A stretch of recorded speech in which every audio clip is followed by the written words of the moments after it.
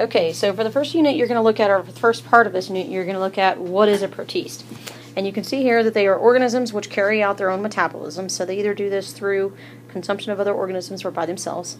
And they can be unicellular, multicellular, microscopic, or very large. So we're not only looking at single cellular organisms, we also could be looking at multicellular, but they have unique properties that don't fit into those other categories.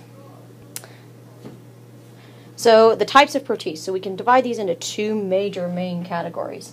The first one would be what is a protozoan? So a protozoan is different than a protist. It's a category of a protist. So the first thing you're going to want to take a look at is they are animal-like protists that are unicellular and um, heterotrophic. So they have to rely on other organisms for their um, uh, metabolism. So you see an example of that right here.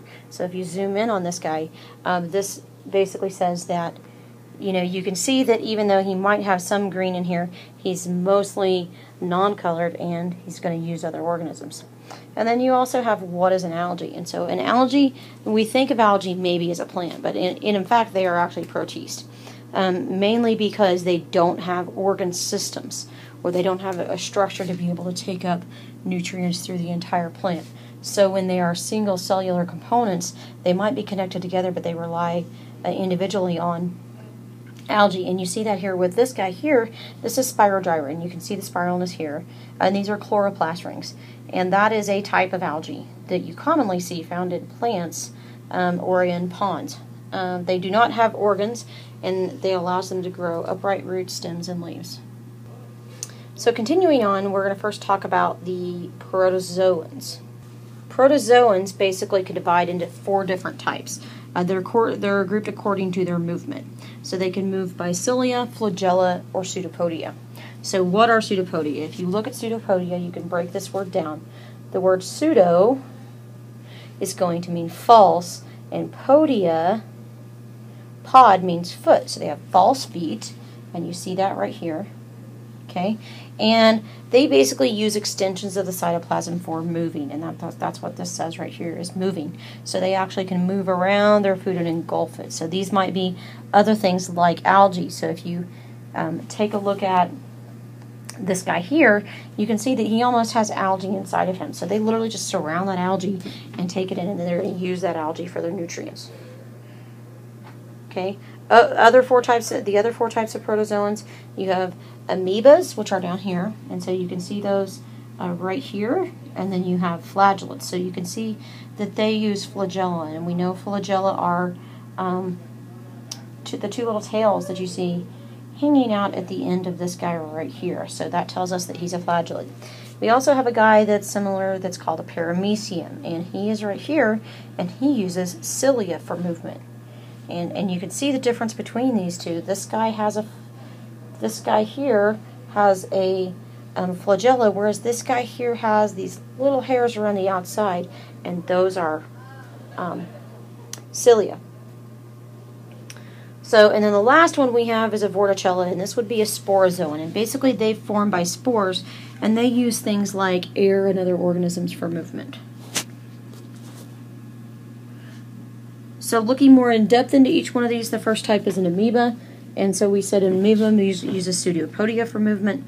They don't have a cell wall. Uh, their nutrients can diffuse directly through the cell membrane. They tend to live in hypotonic environments and make their contract contractile vacuole pump out water.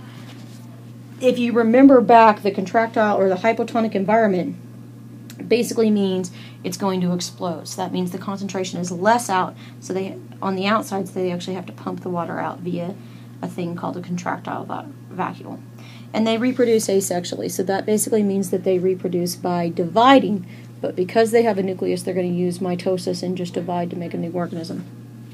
Uh, flagellates, on the other hand, um, the, you see here, they are considered more animal-like, which is why you have the Zoomastigina as the um, phy- or the phylum name. And then there are organisms that have one or more flagella, and some can be parasitic looking at the second to the last type of uh, protozoan. Again, these are the four types of protozoans. You have ciliates, and ciliates basically use cilia to move. Uh, an example is a paramecia, and they are complex unicellular organisms with organelles and structures that are each adapted to carry out a distinct function. Uh, cilia have thousands of tiny hair-like structures, and they're used for movement. Uh, they also have an oral groove um, with food that captures the area where the bacteria are found. Uh, they have a gullet, which moves foods into the gullet, which is a sac-like structure, which becomes a food vacuole. They have a micronucleus and a macronucleus, so they have two different nucleuses, which you'll take a look at when you look at these organisms underneath a uh, microscope. They also have the anal pore, which is used for excretion, and they also have a contractile vacuole, which allows them to regulate their water um, pressure inside the cell. And the last type of protozoan is a sporozoan. So sporozoans uh, produce spores. They are reproductive cells that form without fertilization and produce new organisms. They are all par parasitic, and they actually cause malaria. An example of that would be Plasmodium.